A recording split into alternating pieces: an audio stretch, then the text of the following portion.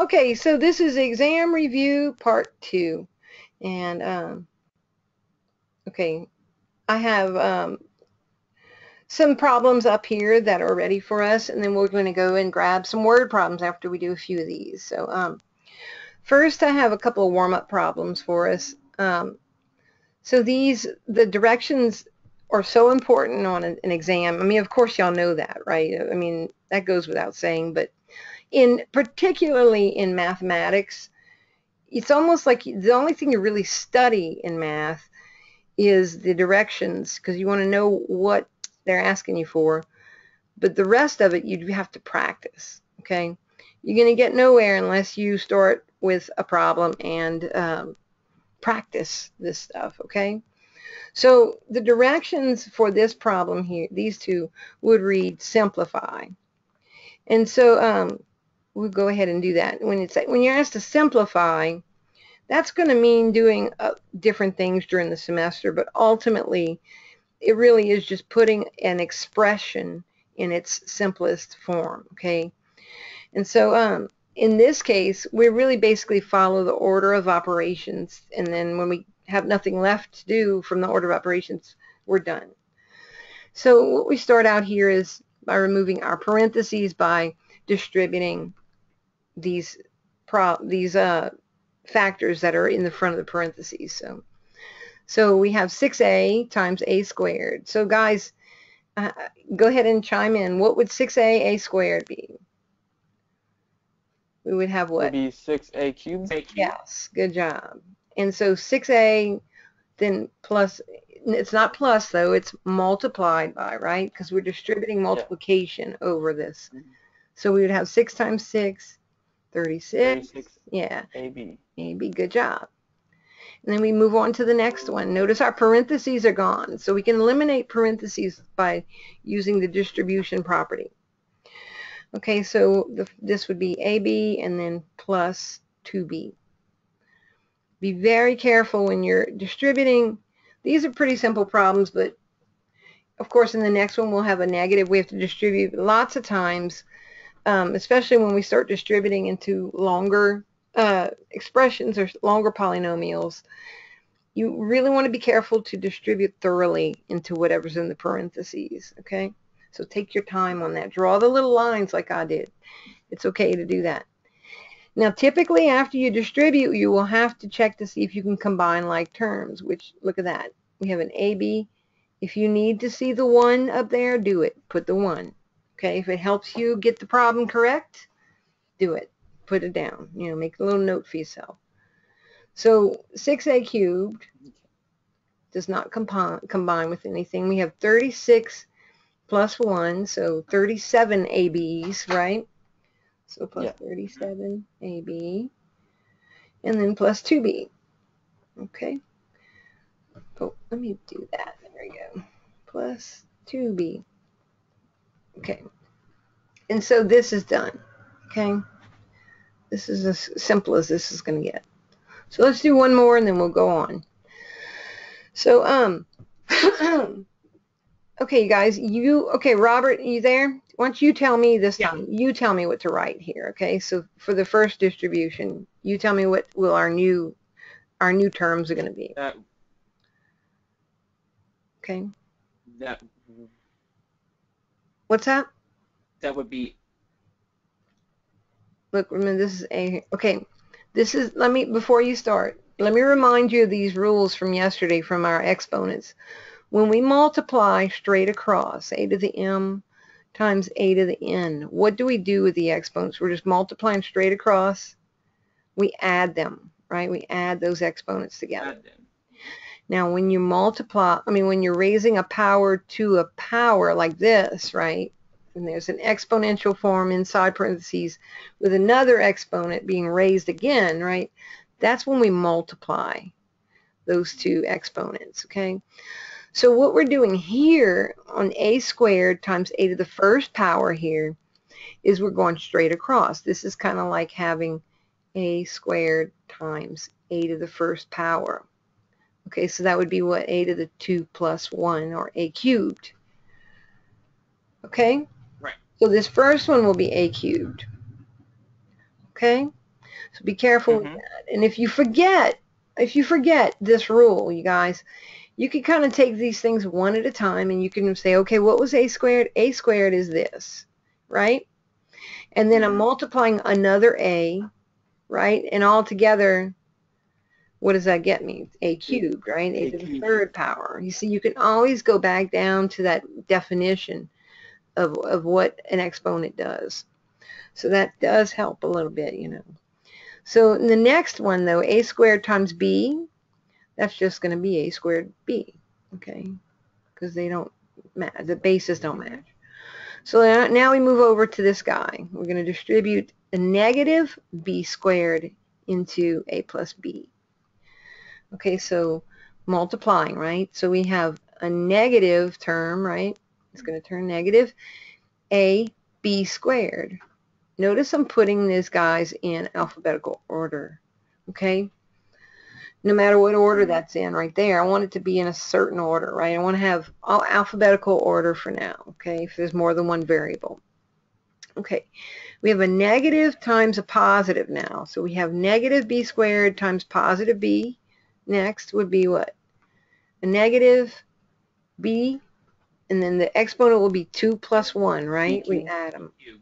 Yes, good job. Now, are any of these like terms?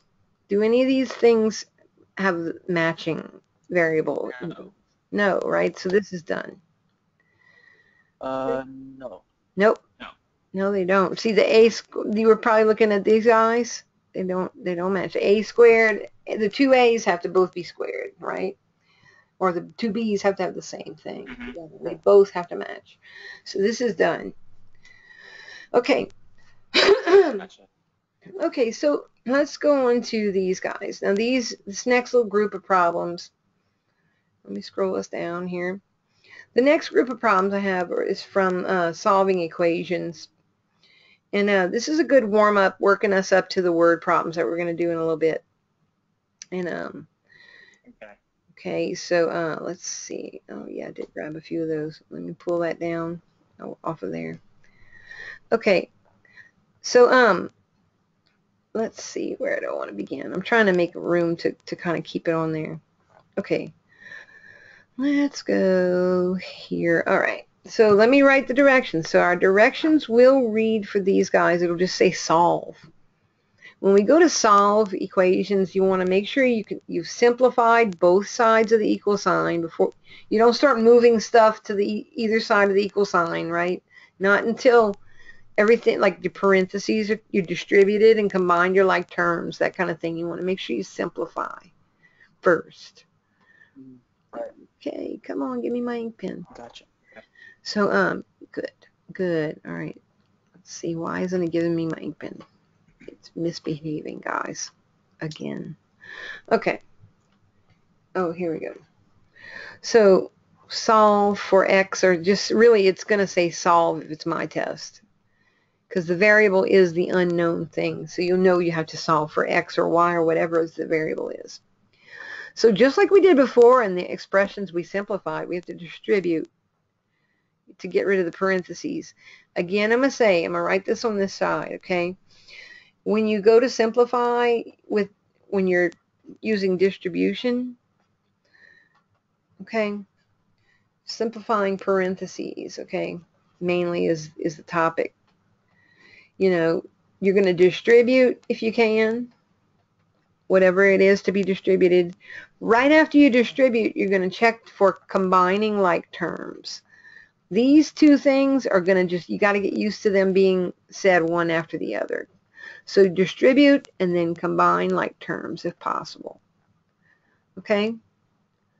Because that's going to make life a lot easier if you remember to check to combine like terms. Okay. So, um, actually, I think I can do this. Maybe I can't do that. Okay. I think I cannot do that. I thought it would let me split the thing, but it did not. Okay, that's going to confuse us. And there we are. Now we're back. Okay. So, okay, so we'll have 7x minus 2x, right? I'm distributing a negative 2 into here. Yeah. And now we'll have a Plus Look, 10. negative times a negative positive 10, right? Equal, then 3x, Mhm. Right. 3 times negative 2, negative 6, Minus six. minus 5x, right? Y'all got that? Any questions so far? Any questions? Uh, no, we're good. So far, Okay, so fine. good. so now got to combine like terms, right? What are the what are the like terms on Mhm. the left side of the equal sign? The 7x and 2x. Negative 2, right? So 2x. So really when to combine them, I'm just going to take 7 minus 2 and tack on an x, right? So 7 minus 2 is 5. Tack on that x. You see? Okay? And so let's see what I'm going to do here, guys. I'm going to uh, actually, I'm going to come right here, get rid of this, and I'm going to start writing the problem on the side, I guess. Just to give us, you know, more room. A little more room. Yeah, I mean, we need some room to do the problem, so. Um, actually, I could do it to the left of the problem, so. Okay, so um, if you're watching the recording of this video, sorry about that. So um, yeah, just bear with this. What did I do? See that? I keep, I don't know what I'm doing to this thing. Yes, we were discussing the ins and outs of the techno technologically um, lacking, or I don't know. Geek Squad, right? Look, it's Geek not like it won't let me move it. It's so strange. Okay, it won't like let me take. I'll just keep working down from here. This is fine. So we have what? 5x. Yeah, you can just go from right there. Yeah, y'all know where we are. Okay. So now what? 3x 5x, right? What's that going to be? Negative 2x. 2x. Yes, good job. Watch your signs. Negative 2x. And then put your minus 6. Very good. Watch those signs, guys. So now, now both sides are simplified, right? If I had just 5x plus 10 by itself and I was told to simplify it, I would say it's done, right? If I had Mhm. 2x minus 6 by itself in, a- in a simplifying problem outside of an equation, I would say it's done. So now I can start moving. Now I got to do the process of isolating x, right? So Mhm. We're going to move our x terms to one side and our constants to the other. And you guys are probably quite familiar with this already. But um, Yeah. in case someone's not. So I'm going to go ahead and, since 2x is subtracted, I'm going to add it to both sides. That's the inverse operation. So it will cancel here, right? I'm going to just combine them now.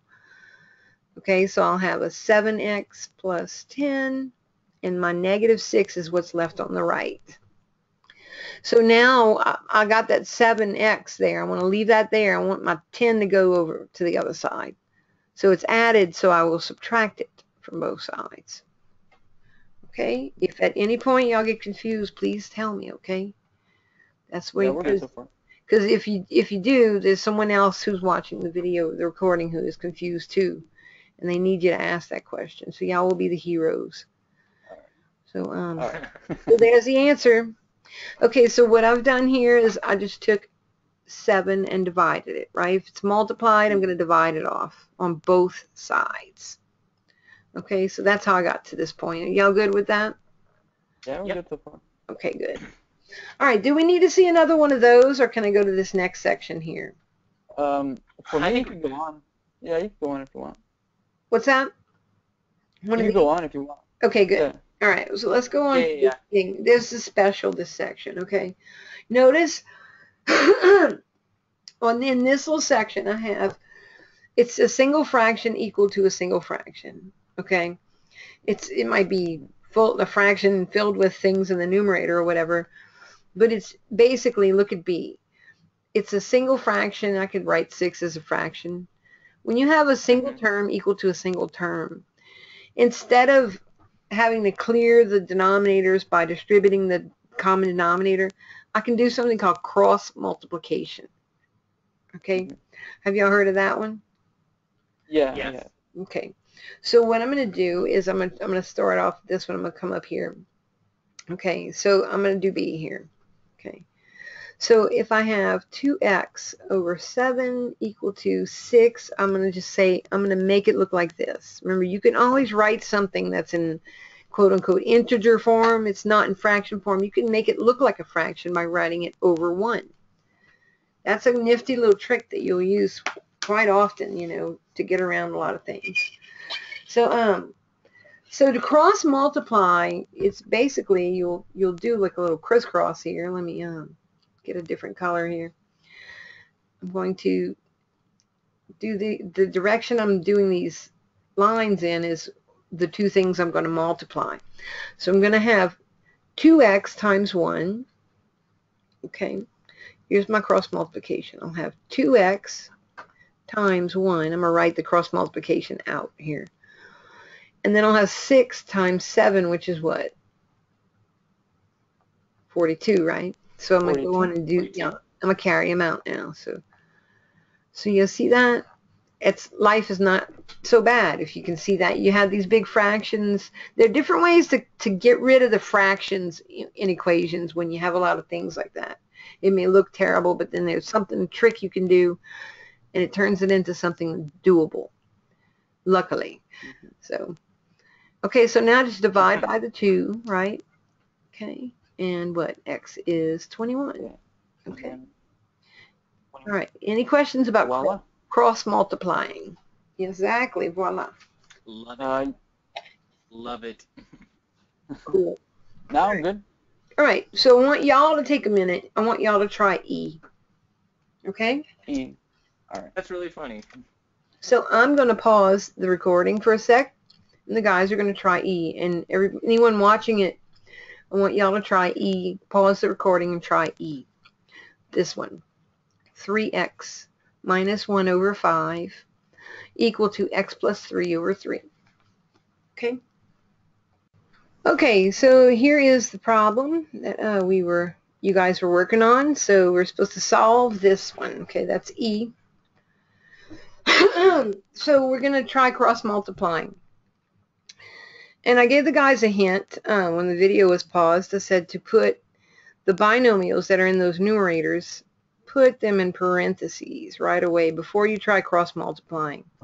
Anytime you have something like, like this is called a binomial, it's two terms, you need to go ahead and put it in parentheses because nine times out of ten, as we move along in our class, this thing, these are their own animals. These are like having a 3x or a 5x up there.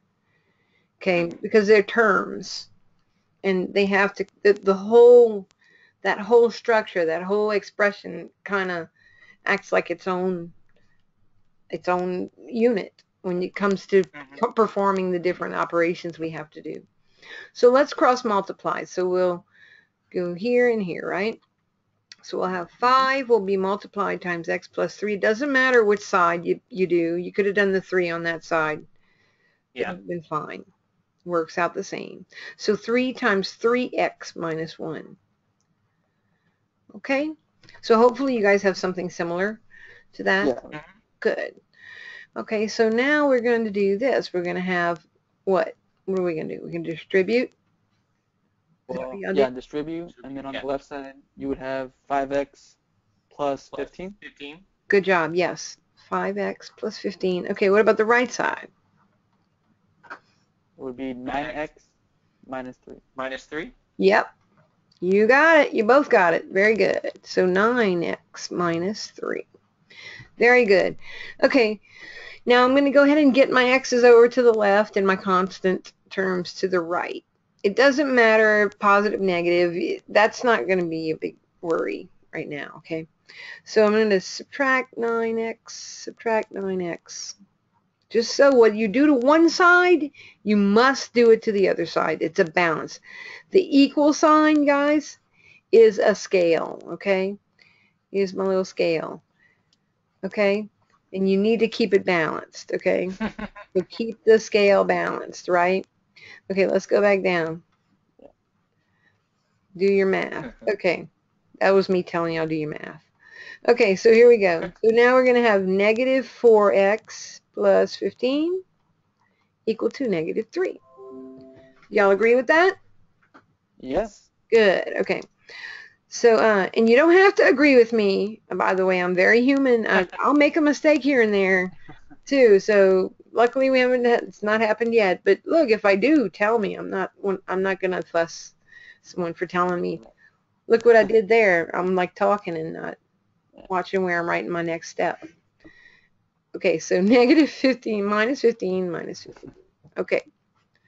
So here we go. And so notice it canceled here. So I'm negative 4x is equal to negative 18. And finally, what do I need to do? Just divide by negative by four. negative 4. Yep, you got it. Divide by negative 4. Okay, so x is equal to, and so here we just want to reduce. And we have a negative divided by a negative. That's going to make it positive, right? Now both Mhm. 18 and 4 both are divisible by 2, right? So I can do this. I can say that 2 goes into 4 how many times? 2 goes into 4 Twice. twice.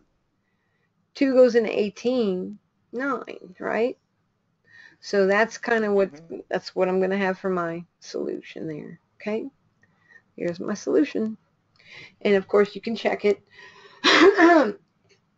because of time right now, what we do to check it, we would go back in and plug a 9 halves in for x back into the original problem. And so um, actually one of the first steps, actually first or second step, plug your 9 halves in. You're looking for a true statement or, you know, or if it's false, you got it wrong. Here's, I tell you what, see this, this problem right here, 9 minus 5x equal to negative 6. Let me do that Uh-huh. one really quickly, and I'll show you guys. It's, it's going to be a little shorter for time sake. This will be quicker for me to show you how to how to check your work after. You in the great thing about about math in this class, guys, is that you can you almost like you have your own key. You there's always a check. There's always a way to check your work. Okay. So we want to go ahead and subtract 9 from both sides on this one, okay? So we're going to move that over here. So negative 5x is equal to what? Negative 15. Okay. And now negative 5 is multiplied times x. So to get it off of the x, to get x alone, I need to divide that. And don't forget your negative sign, okay? You got to divide off that too. Okay, so that all cancels, and I have x is equal to what? Positive 3. Okay, and you don't have to write your positive. I just wanted to write it just to kind of, you know, illustrate that these two negatives cancel each other out. All right, so to check this solution, so to check this, what we're going to do, let me go ahead and write check, okay? We're going to go back and we're going to write 9 minus 5. Instead of x, I'm going to open a set of parentheses, okay? And I'm going to go back in and I'm going to plug in the solution I got, okay? So to plug in my 3, okay? So and so you simplify that left side. You have 9 minus 15 here. And so what? Negative 15 plus 9 is negative 6. Bring down the right side, right? Or simplify it if it needs to be simplified. So see what we have here is true. Okay, so if you're checking your work and you get a true statement, then yes, we have a solution. Okay, so x equal to 3 is a solution. Okay? Okay, you may even have a problem in homework or wherever where you're asked to um, verify that something is a solution to an equation, and that's how you would do it. Plug that solution in, and if you have a true statement, it is a solution. If you get a false statement, it's not. Okay? Okie dokie. Any questions about any of this? Okay. Uh, no. No, I. I think we're good. All right, so let's take a look at some word problems. Let's go on to that then. Okay, so we looks like you guys asked me for some age word problems. So let's go ahead and look at yeah. okay. The the biggest thing there's there's actually a video and I can put that in the in the journal forum. There's something that and I'll give this to you right here too. I'll, I'll just do the, the steps here.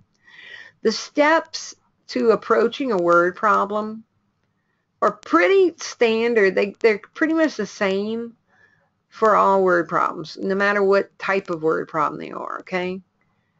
Okay, so like, let's see. Let me make this zoom in a little bit for us. Okay, so uh, I need to get rid of that. I'm trying to make my pen right. It wouldn't write. So the steps to word problems, okay? to um, solving word problems or application problems, but we'll just call them word problems. Word problems. I should have like a little echo thing of word problems, word problems, word problems. Problems, problems, problems, Yeah, problems. yeah, exactly. Problems, problems. So, it, but, but they're not. Then we after this is not going to be a problem anymore, right? Right. Okay. Right. right. No, it doesn't have to be. The key is this. Here's the key. I'm giving you guys the secret right now, okay? You want to read and reread slowly. Don't try to rush through them, okay? You want to reread, I mean, read carefully. Read carefully them the word problems. No, reread carefully.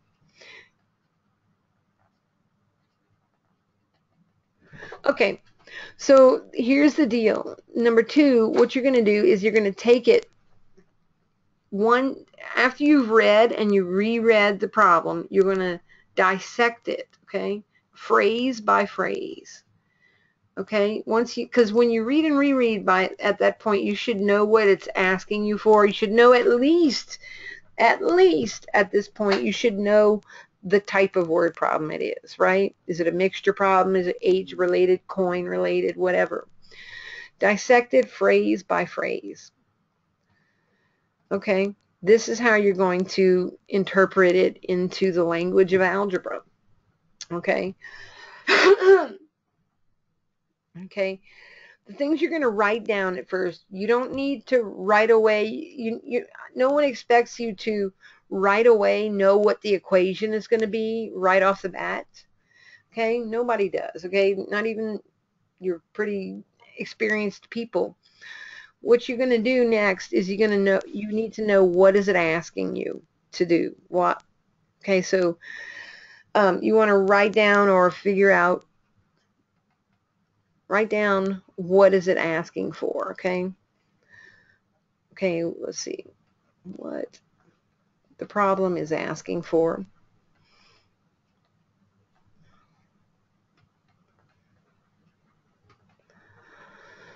Okay. okay, like for example, somebody's age or such and such, okay? Okay. So then the next thing you want to do, number four, we want to represent the different factors in the problem. Okay, we want to represent um, our variables, basically. Represent, and I'm going to put slash. Uh, name your variables.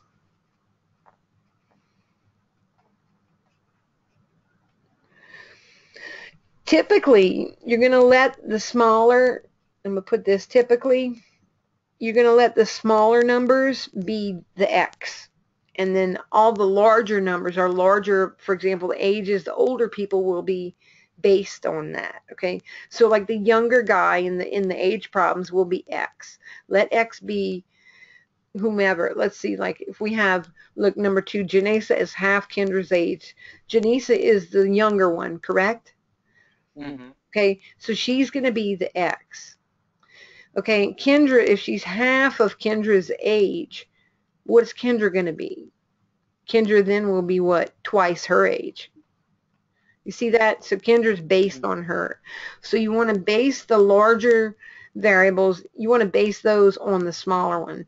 So you want to let, okay, X will be the smaller amounts in the problem, okay? Mm-hmm. That's really right there what I just wrote, that X is going to be the smaller amounts. Okay, that's a big one right there. You definitely will make a lot of leeway knowing that. Okay. Actually, let me not put the parenthesis. The uh, larger, the larger amounts in the problem or ages or whatever it is are based on that. Okay, they build on that, on the smaller, on that. Okay? Okay. Okay, and then of course, finally, number five, you want to use those representations to write your equation, okay? And that we'll get to through experience. We're going to have to just, I'll show you that. Once you have your equation, you're going to solve it. You're not done though. Once you solve your equation, sure, you're almost there. But you're not done when you solve your equation. Finally, you have to make sure you have answered your question. Because I don't know if you guys noticed that. You could solve your equation and put feet after the answer or whatever. But oftentimes it's asking you for the difference between that solution and another number or something to that effect. Make sure you answer the question. Okay? Especially on multiple choice, right? Because you know one of those choices Yeah. is going to be that X after the solution to the equation. And then another choice Yeah, is going to be the real answer to the question. So be careful. You know, answer the question. And then you're pretty much done. Okay, so let's leave it at that. And um, let's look at one of these age-related problems. Let's go ahead and look at number two, since I, I called that one out. Okay, and uh, let me go ahead and, and we'll make it a little neater. So, um, Janisa is half Kendra's age. okay, we're up here in number two. Okay, so right here, okay, let me just read through. In 24 years, comma, the sum of their ages will be 135. How old is Janisa now? So the question is, how old is Janisa? Here's my cue, my question. Okay? So, um, okay, so what we're going to do is right here, we're going to represent their ages now. Is This is what they are now. So typically with age problems, you're going to have something now, something in the past or the future. This is going to be in 24 years, right? So right now, let's stay here for now though. Right now, okay, Janisa, okay, we'll let J, Janisa, let's let her be X, okay?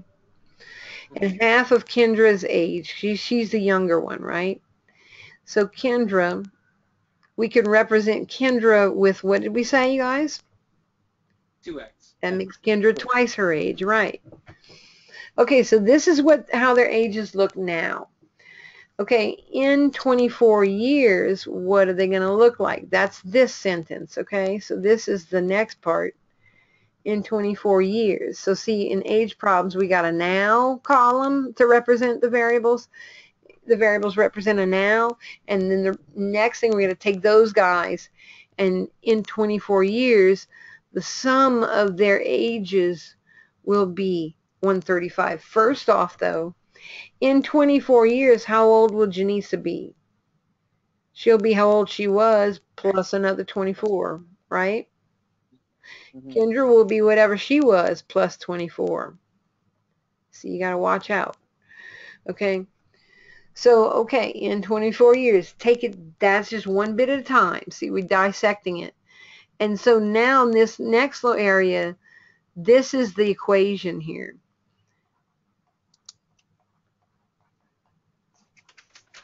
And pretty much all of them, you can make a little table like this. Don't don't put two. Okay, so far I've had two rows. Now this one I'm gonna leave it kind of wide open so I have room for my equation. So now in 24 years, we want to take this in 24 years column and write the, the sum of those two ages there is going to be 135, right? So x plus 24 and 2x plus 24, when I add those two amounts together, will equal 135. So x plus 24, I really don't need the parentheses. I guess I'll just get rid of them because we're just adding. We're not multiplying anything. And then plus at 2x plus 24. Y'all agree with that? Yep. Yeah. Okay. All right. So what I need to do here is just combine like terms and go ahead and solve this thing. And I'm going to take it to the side over here and solve it where we have a little room. So we'll combine like terms. We have 1x and 2x, right? This guy and this guy. So we'll have 3x. Then we have 24 and 24 plus 48 is 135. Okay. Subtract 48. And um, I'm just gonna bust out my calculator since I am so sleepy. So um, long day. I feel like that reminds me yesterday. Jose and I had a, some funny, funny. Um, remember? Oh yeah, we had had it. the, yeah. we have. We'll see if anybody can uh, can realize my what I did with my the magic of uh, editing through the magic of television. I had a. I'll just tell you guys, people rec- recording this, don't forget though. We we had a brain brain fart yesterday, and um. Oh, I love those. Oh, I love it. We both had the same one though. I had to. I was like, let me pause the video. I know the Well, one. People like calculator the simple multiplication. Don't let them know this. I did already. I told them the truth now. It's it's it's true. It's out. It's okay. Again, human. But uh, no, The magician revealed its secret. that's right. Through the magic of television, we made a miracle happen. No, okay. So guys, all right, here we go. 135 minus 48 on both sides, right? I got to subtract that from both sides. So what do we have here? So we have 3x is equal to 87. Is that what you got? Y'all back me Yeah. up now. And then you at home too, whoever's watching the review and the recording, back me up. You should have your calculators out, working this problem out on your paper. Don't just sit there and watch us work it. You need to be writing this stuff down. And if you work ahead of us, write the next one down. Do that one. You know, and if it's if you work a problem out that I don't do in this review, and you see it on this this screen, man, let me know. I'll I'll I'll make I'll check your work. Just come ask me anytime. Okay, divide by three, and so that would be what 29. So that now really I should put this as a final step. Is it feasible? Janice is 29. It's possible. That is an age, okay? And Kendra could be twice that age, okay? So this is Janisa now. Wait, this is Janisa. Yeah, that's Janice's now age.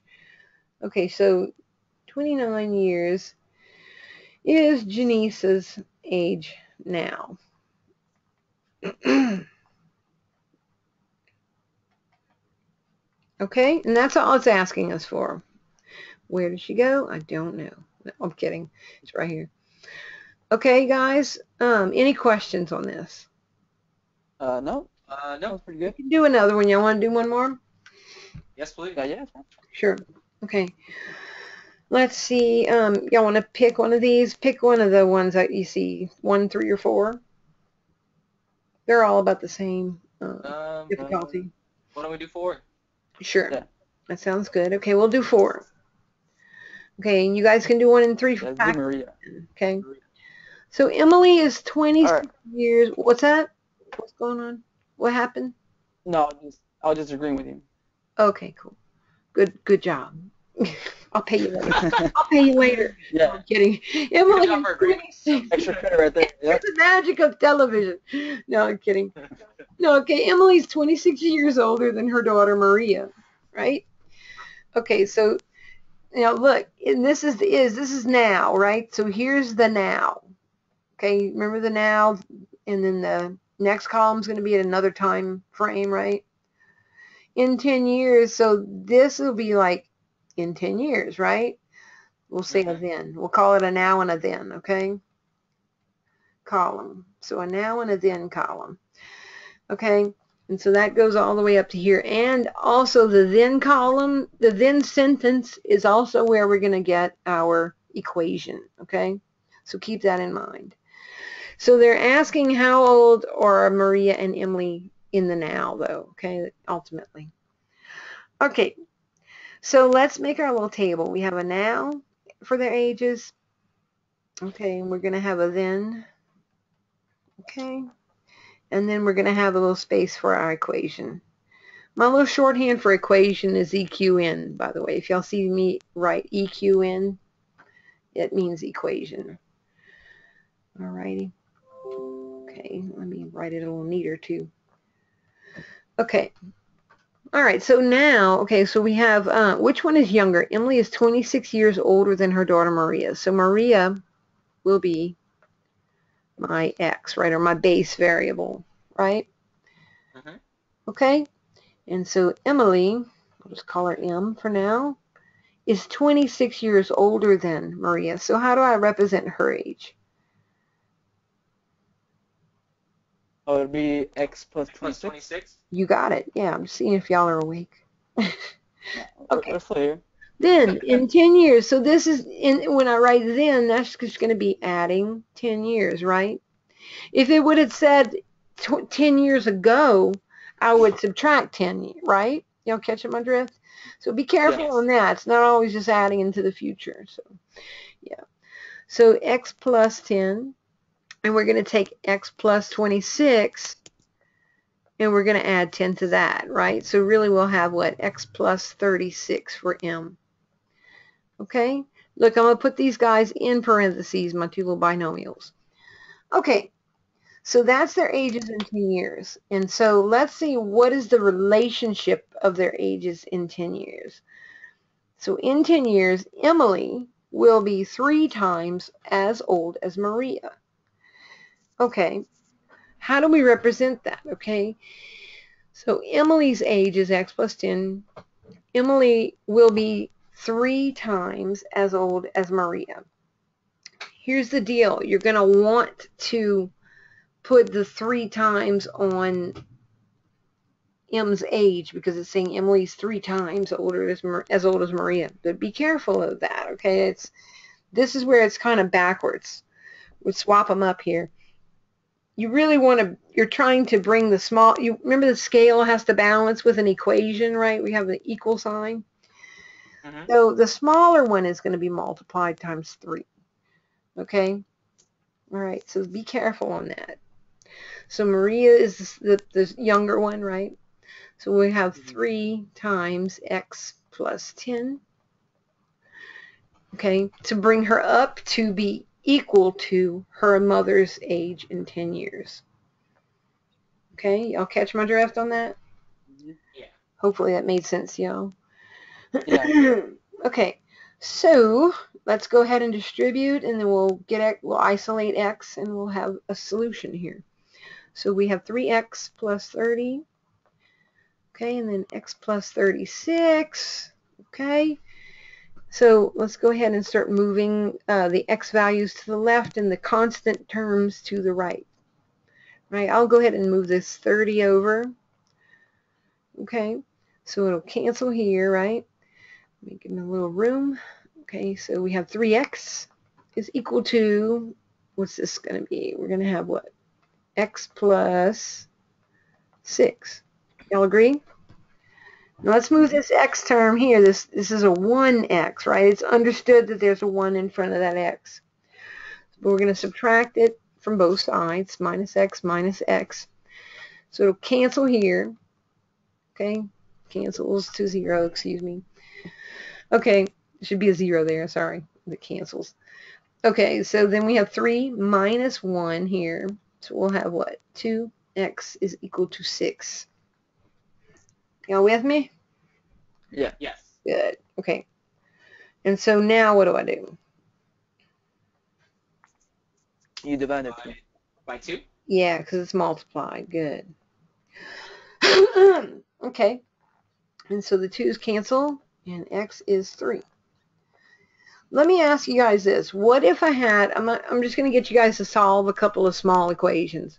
Oh, by the way, okay, wait, I'm sorry. Maria is, at present, Maria is 3. Maria's age now, right? Let me answer the question, sorry.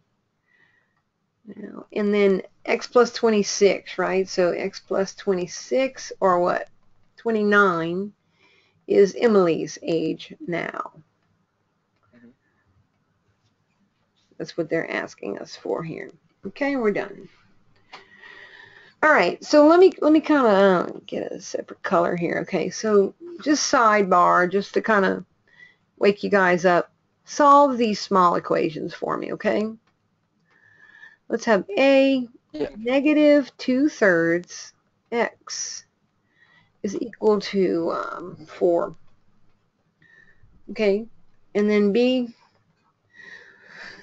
let's see, um, absolute value of x plus 3 is equal to 6. All right, so let's look at a first, okay? Now, so far we've kind of just seen uh, something multiplied times x in that final step, right? And we divided, we took the inverse operation, right? We divided it. What about, let's take the multiplicative inverse and multiply it times both sides, right? In other words, if I have a fraction on the front of x multiplied, what I need to do is multiply both sides by the reciprocal of two, negative two-thirds. So the reciprocal, what is the reciprocal of negative two-thirds, okay? So in symbolism, if I wanted to ask you that, I would do this. What is the reciprocal of negative two-thirds? That would be what? Negative three halves. Right, that's the answer. Okay, I don't need to write a positive one on it, and that's, that's understood. So we want to take this value and multiply it times both sides of this equation. So I'm going to have negative 3 halves. Notice the sign stays with the num with this reciprocal, okay? So we don't change the sign at all whenever we do reciprocal. Okay, so now we have what? Let's write the rest of the, the, the existing problem. Okay. Okay, so now what happens is we have these negatives cancel, right? It's positive. Twos cancel. Threes cancel. And I'm left with x, right. Here, the 2 will cancel with the 4, leaving me a 2 up here. So I have negative 3 times positive 2, or negative 6. So see that inverse can come in a lot of different forms. We can have the multiplicative inverse, which is what I just used. The inverse operation is what we've been saying. It's you see something multiplied, like here, and we just divided it on both sides when we did that, you know. So um, just kind of be aware. It could some the similar or same concepts will sneak up on you, but look differently. Is what I'm getting at. Okay. So that's why it's good to practice different forms of, the- of the same problem or write things different ways. Okay? Okay, so how about this absolute value equation? To set this thing up, we have to kind of do this. I want you guys to kind of remember that when we set up an absolute value equation to into two se separated into two, this amount or whatever's written inside this absolute value symbol does not change in either case, okay? And here's what I'm talking about. I'm kind of going along to, before we do more word problems or, or go on or run out of time, I want to hit some highlights with you guys because um, that uh, there's some important stuff you guys need to know. You're on a need to know basis. Y'all hear this car shrieking outside? That's weird. Yeah. Pretty far. Yeah, a little bit. Okay, so x plus 3, we can write that twice, okay? Okay, write r and then write x plus 3 again, equal to something. Notice I wrote the exact same thing twice, so I don't make it minus 3 or anything. I, cha I don't change this value is inside the absolute value. So, but, but what changes what's on the right when you set it up. In other words, what's in here could be a negative 6 or a positive 6, right? The absolute value, if this were a negative 6 inside of here, if x plus 3 were negative 6, right, you could have that in there. It would be a positive 6 answer. If x plus 3 was a 6, and here if this turned into a 6, I would still get the absolute value of 6, and so I'd have the right, that's what it would be, right? So in here, inside the absolute value, I could have a negative 6, as this is, right? And it could also be a positive 6. That's how, that's why we do that, the setup of these problems the way we do them. Okay, y'all with me so far, though? Yeah. Yeah, we're good. Okay, y'all awake? yeah. Okay, so subtract 3 from both sides, and x is negative 9, right? hmm So we have to kind of, anytime we have to separate a problem out like this, you have to make sure you solve both parts, you know. Let's go solve this one independently. X is 3. So these are my two solutions, okay. All right, um, what about other absolute value equations? Um, you guys are going to notice, make sure you check in the homework that I, I posted I don't even know. I'm about to post it if I haven't posted it yet. Um, all your homework solutions will be up by the by the night. They're all ready to go. I just ran out of time, so I had to come do this. But um, within within minutes of me finishing this this review, you're going to have all your solution keys up. Okay. And so I was looking at the absolute value ones that were assigned to you in homework, and those are very appropriate for you to review. And so what you could you could very well go and pick some problems right around the um the homework assignment problems, and uh, those would be great to review. Um, that would be perfect for you guys to go and check out. If you have any questions with those, you're welcome to get in touch with me. Uh, there is one little group, the very end of the absolute value uh, equation homework. There were a few of them that kind of looked like this, and I'll, I'll just show you. Might have had something like this. Okay, um, maybe there's a 5 out in the front and maybe a minus 2 equal to 10. Okay? When you have something like this, what you need to do first is get this absolute value portion of the equation by itself. So slowly you need to isolate this absolute value sign, the part in the absolute value symbols. Okay, so pretend it's x, like if we would have something like this, 5x minus 2 equal to 10. So to, you know what I mean?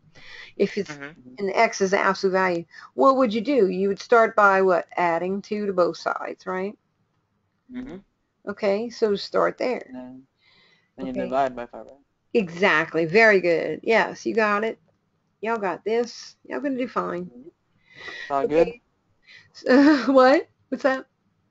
I was like, it's all good. Yeah, it is. It really is. Look at that. So, um, I'm such a nerd. Okay, guys. So there you go. Divide by five on both sides. And now you got your absolute value problem that you're kind of used to seeing, right? 12 fifths. So what if it's a fraction? It's it's there. It's positive, so you can you can keep going. So this guy doesn't change. So we have 2x. I'm going to go ahead and just set this up and leave it be and let you guys work on it on your own. So we have a negative 12 fifths, right? So as it is, you don't change this part. So that goes over here again. The only thing that changes is this, the negative right side or the positive right side, right? So 2x plus 3 could be positive, negative 12 fifths or positive 12 fifths. Okay.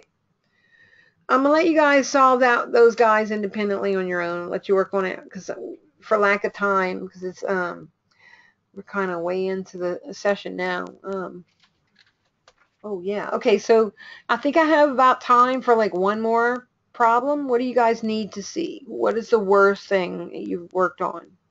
Like maybe Um, what's getting your goat? You know, what what gets you stuck?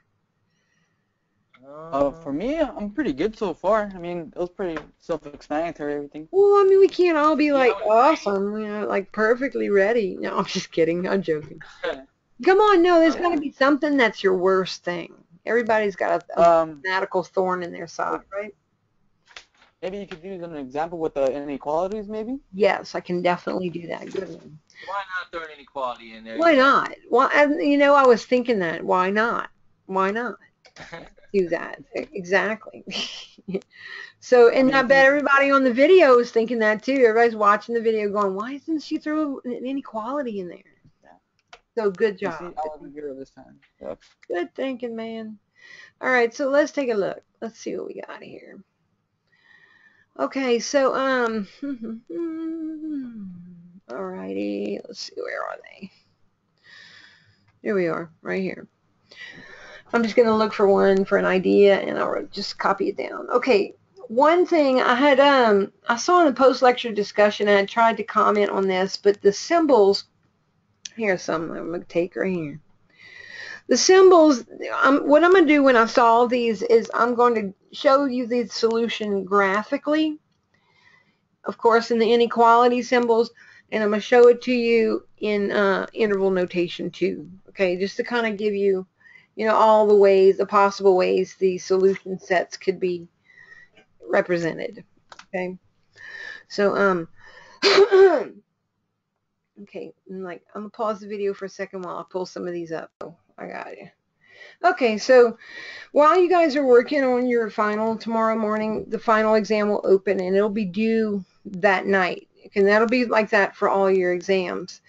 On the day of your exam, it opens up in the morning and it's due by the nighttime at, at 11.55 p.m. So, um, you know, I'll, I'm generally available during tests especially. Make sure you guys text me. That's the quick thing. That's the quick thing. Be in touch with me.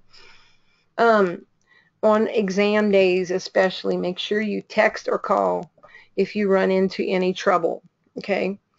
So I don't want you to sit there confused, wasting time. It, I'd rather you ask me a question, you know, in case I can answer you. If it's if it's about the course, the topics in the course, I'd rather you ask it in case it's something I can at least maybe send you in the right direction or at least at worst tell you you'll have to read it carefully for yourself would be the polite way to say you should know that, you know. so, I mean, you know, I'd rather you ask than not. You know what I mean? Because you never know. I mean, really, not enough people ask questions, okay? And if you're not sure about what something is a, a question's asking you for, please definitely ask me. You know, um, so, you know, don't sit there like confused. You know, you have your you have vast resources available to you for an entire day. So y'all should be able to fill in the bubble form. I'm going to have a bubble sheet available. It's going to be multiple choice and it'll be a bubble in form. That'll um there'll be a link for the bubble form. Okay? And so uh that's basically it. So it's it's pretty self-explanatory once you open it up. Okay? let's go ahead. We're going to get these uh, a couple these and a couple of more uh, inequalities done, and then uh, we'll kind of be done there. Now we only did the age-related tasks, but um, there are others in your homework book. I highly suggest you guys. Once again, I'm going to say this.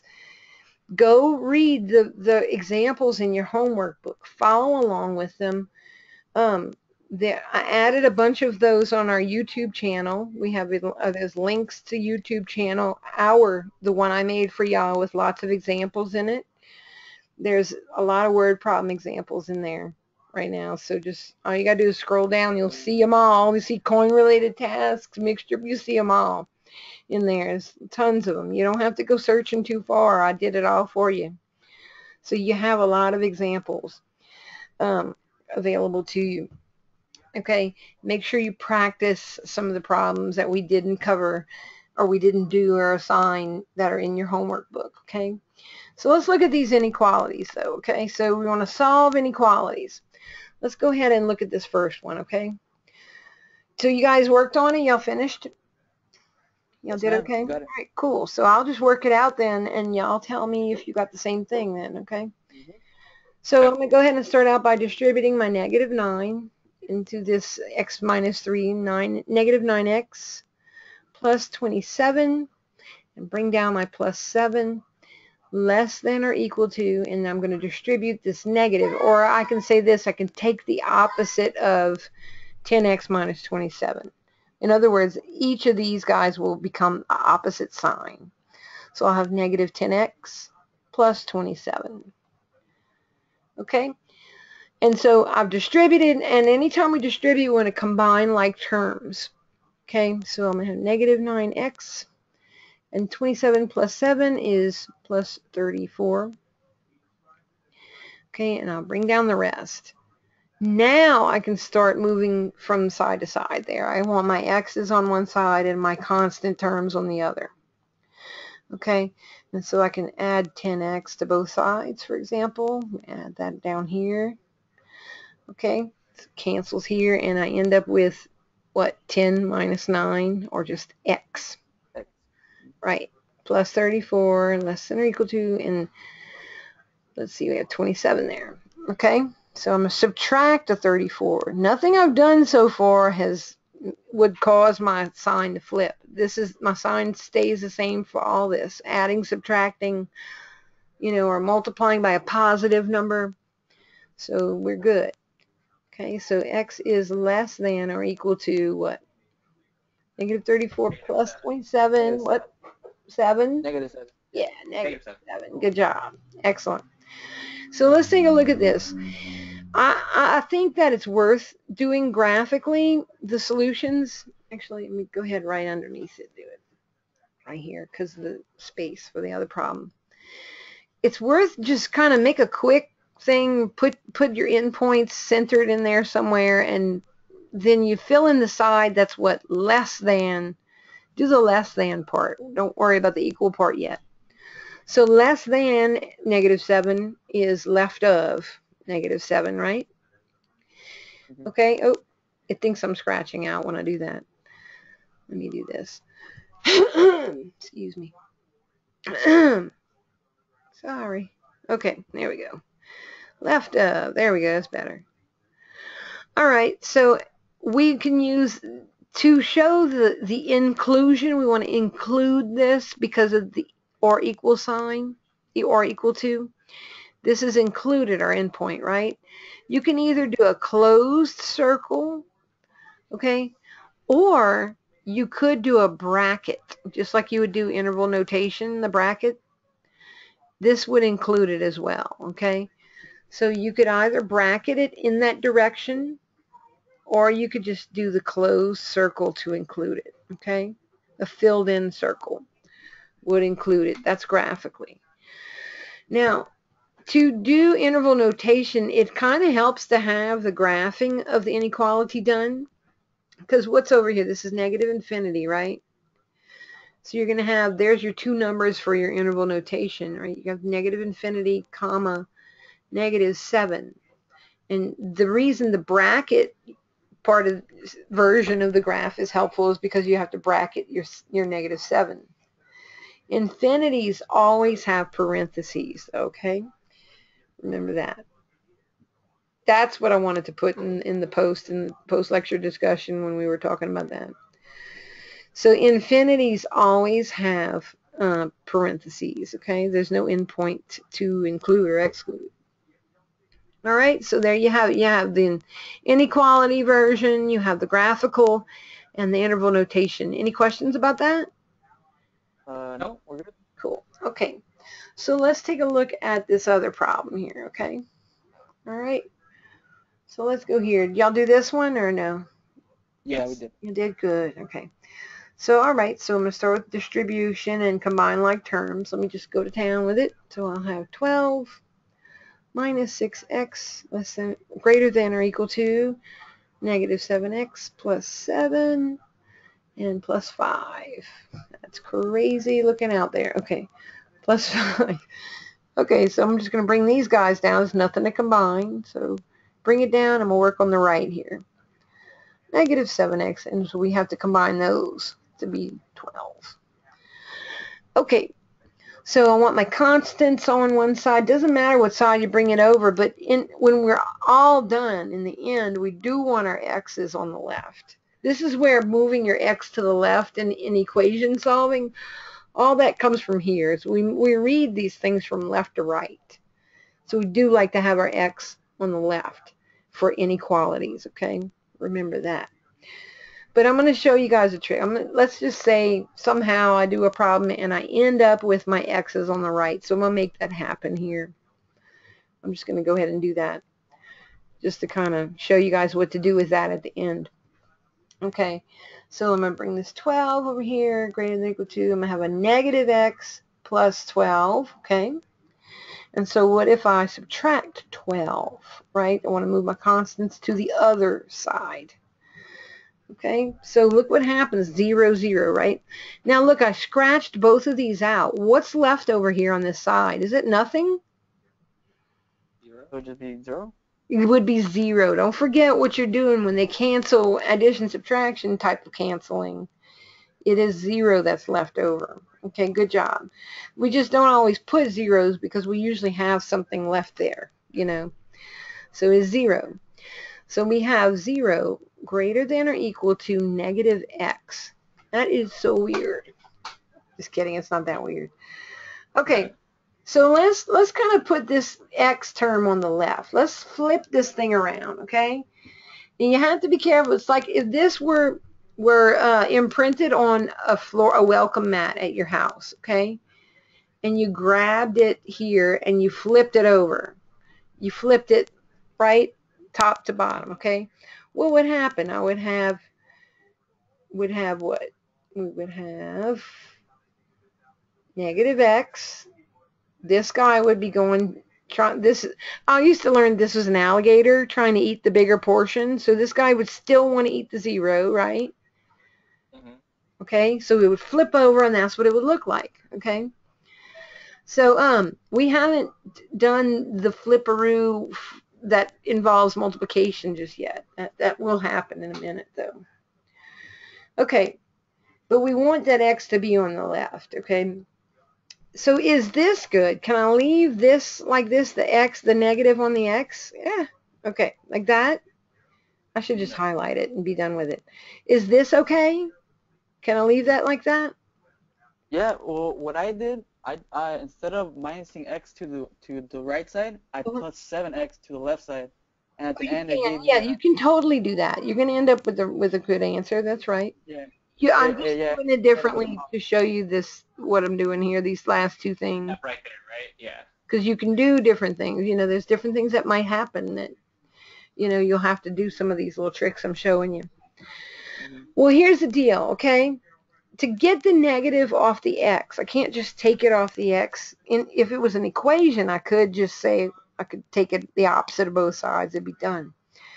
But I'm going to have to multiply both sides by a negative or take the opposite of both sides. But let's just say I'm multiplying both sides by a negative 1. Actually, I'm going to do it in a separate step because of the sign direction change.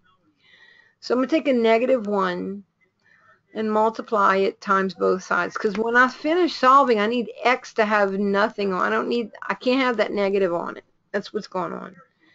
So negative value is being multiplied on both sides of my equation. This is when the sign swaps direction, okay? This is when it becomes a greater than instead of a less than. Okay? Y'all see that? Because I'm multiplying both sides by negative value, or it's multiply or divide. This is the only difference between this and equation solving. Okay? That is when my sign changes. That's the actual step that that occurs in. Okay? So um, let's go on. Let's kind of see what happens. So we have now I'm gonna have two negatives making me a positive x, right? Greater than or equal to, and this is just gonna stay zero. Okay. Now your solution set totally changed, Mhm. although you know even though it doesn't look like much happened there. Okay. So let's take a look. Okay, here's graphically what's going on. My zero's in the middle. X is going to be greater than or equal to. So greater than is to the right of. So I just need to shade to the right of. See that? let me make it, let me do what I did earlier. You just get a different color.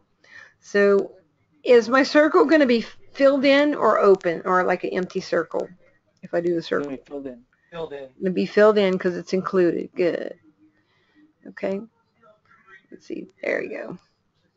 And I'm going to shade to the right, right? Because it's greater than. Okay. Alrighty. And so now I'm going to do interval notation. Like I said earlier, this kind of, by doing the graphical, showing the graphical solution, it, it really makes doing the, the um, interval notation lots easier, I think you're going to have this, right? You're going to have everything you need is there. You know, especially if you use the brackets and parentheses in your graphical. You totally can, by the way. Again, I'm going to say, if you wanted to do this graphing, the graphical representation with a bracket instead of a closed circle, you can totally do that. If we would have, um, so that's done. Let me just leave this one behind and show you this. If I had, say, x is less than, so let's just use 6, excluded 6, right? So 6 is not included in this solution that I just wrote up here. To you show this graphically, a 6 in the center, less than is left of, right? Okay. Now, to exclude the 6, we would use an open circle, right? Empty, meaning there's nothing there, right? It's, it's excluded. Okay. Or we could use a parenthesis opened in that direction because the parenthesis is the excluding cap on the end, right? You with Yeah. me on that? Yeah, I got you. Catch my drift? Okay, cool. So this and let me just write it both of them. So if I did this, it's the same thing. This is the same thing. Okay. Different textbooks uh, will write that different ways. At any rate, the interval notation is the same though. Okay, and we use a parenthesis because 6 is excluded. Okay. Y'all understanding what makes them included or excluded, right? Yep. Yeah, I wrote, no, there's no equal under that less than there. Okay. All right, cool. All right, let's do a, one compound inequality and we'll call it a night. Okay. Um, I'm just going to go look at one. I'll just borrow one real quick. the, uh, what I'm talking about is, um, the uh, intervals, you could have, I guess what's considered a three, um, there it is, a three-sided inequality to solve, okay? Or it could be broken into two different things like in these problems here. Let me uh, zoom in on that. And probably problems probably would come from some this little area in the book. Okay, what area, Karen? Let me hold on a second. All right. So uh, where here it is. Okay. So here we are. Yeah, page 96 is full of wonderful options for you to practice. Okay. So what you're seeing there in the beginning of the page, these are going to be intervals and conjunctions. They're writ can be written in one statement like that, but it's got one, two, three sides. And these are disjunctions. They they have to be written separately. I didn't mean to do that. Okay. Sorry. Um, there we go. Come back to me now. Okay. Disjunctions. Okay. It's just unions there. All right. So let's kind of look at one of these. Mainly what you probably would see, it would be one of these though. If I had to pick just one, I'd probably put one of these on there. So I'm going to pick one of these. Um, probably, let me take number, let's go ahead and look at number H. Number H. I like Look at number H, guys. Okay. Let me see if I can just copy and paste it. Bet I can do that. It might work. And let's do that. It doesn't work for like a bunch of them. It won't work the same. Look, see what it did? How nice. Okay, hold on, guys. Hold on. Just a second. Magic of modern fun here. Oh yeah, I know. I, So, um, okay. So here's how this will go. Let's take a look at this one, okay? Now we're going to be asked to solve, okay, the inequality again. So we're solving. And so here is what I'm talking about. This is called a conjunction, okay? And really it's an interval, okay? Conjunction, okay? Okay, now for this, this is similar to when we have an equation with that's filled with the fractions. What do we do with the denominators to clear the fractions out? We want to find the least common multiple of the denominators, right? 5, Mhm. so 5, 15, and 3, they all have 15 in common. So that's what we can do. We can take a 15 and distribute it into all three, instead of two sides, instead of both sides, now I'm going to say all three sides or all sides. You see, I'm going to have this one, well, less than or equal to, I'm going to have 15. Oh, not 12, excuse me. Yeah, you know it's time for me to go get some food. Ah, some You're gumbo. hungry. I need some gumbo. Filet gum. No, I'm just kidding. I'm joking. I'm being stereotypical Cajun girl over here. So, um, uh, let's see. All right. So we have, here's the original problem. This is what I wanted to do and to show you guys that. See, so we'll have the 5x minus 7 over 15. 11 thirds, okay? So you can kind of see the original problem here, okay? All right, so the 15's purpose in life is to get rid of fractions for us. So we like the least common multiple of the denominators trick. We use it a lot of times in this class, so get used to that. It's not going away, okay, y'all? So try get used to finding the, the least common multiple of the denominators. That's the most efficient common denominator you can use. So 5 goes into itself. The 15 three times. I'm going to come back across and I'm going to do the multiplication in a minute. I'm going to go ahead and do all the cancellations first. Okay, so these guys cancel out all the way. 3 goes into itself once, into 15 five times. So now what I want to do is come, kind of come back here and find the survivors, so to speak. I have 3 times negative 3. So that's what's going to populate that side, right? So I have what? Negative 9. Okay? And so over here, notice it's just 1 times 5x minus 7. If you ever have anything besides 1 left over, be careful with the distribution, okay? So be careful with that. So we, but it's just 1, so we can just write the 5x minus 7 like that. So now we have less than or equal to, okay, and then 5 times 11, right? See the 5's left here, and we have the 11 here. So we have 55. Okay. So now uh, what I'm doing, and so far when you solved something, you wanted to get x isolated on the left, right? okay, or equal to, less than, whatever it is. We had x on the right, on, excuse me, on the left. Did I say the right side? Sorry, guys. We wanted to get x by itself on the left.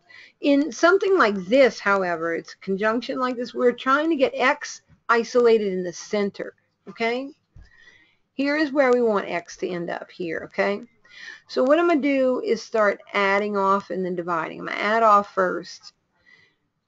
Okay, so I'm going to take 7. I'm actually going to add it to three sides of this inequality. Are y'all with me? Yes. Okay, so let me do that. Okay, and make some room. Negative 9 plus 7, so we have negative 2. Less than or equal to, and so we have 5x. Notice the x is coming right along in the middle. 55 plus 7 is what?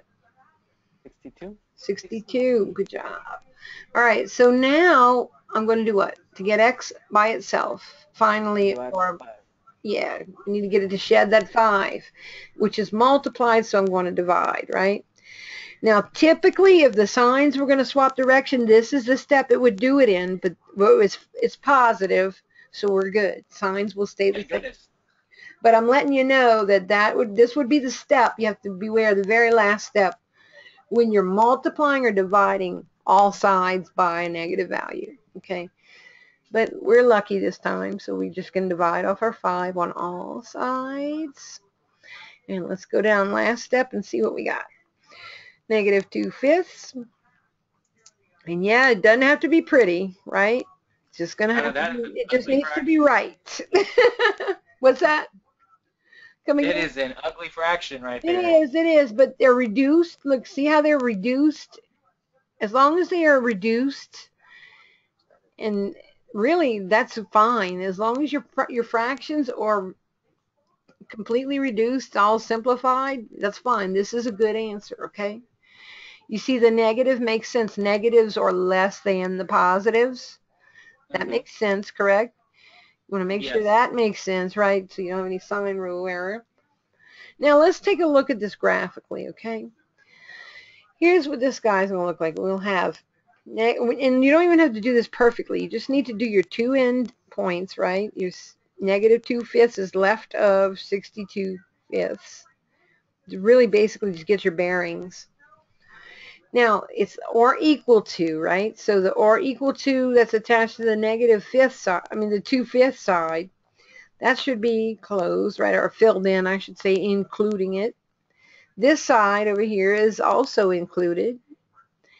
And so if you kind of take it a bit at a time and just read, say, so you just read like this part of it. Your x is going to be above, right? x is going to be, read it like in this direction. x is going to be bigger than negative 2 fifths, right? So you're going to shade in over there, right? You're going to shade in above that. If you read it from the other side, from this direction, right, x is less than 62 fifths. So it's over here. It's less, it's below it, right? Mhm. Y'all with me on that? So you can see that this gets shaded between these two points and we're done. So that's the graphical representation of a conjunction. It fills in between two endpoints. That's pretty much it. Now look, the, the interval notation is this because they're included, we'll use brackets, right? And we'll say, okay, one of the endpoints is negative 2 fifths through 62 fifths bracket. Okay. Now my son is about to get like fussed, and so I better go. He's hungry. So am I.